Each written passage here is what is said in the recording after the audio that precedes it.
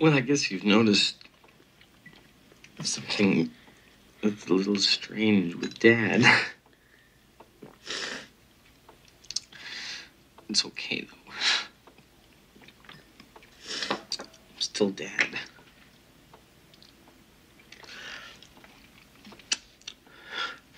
I can't describe it, what I'm feeling. I'm thinking. This means something. It's important.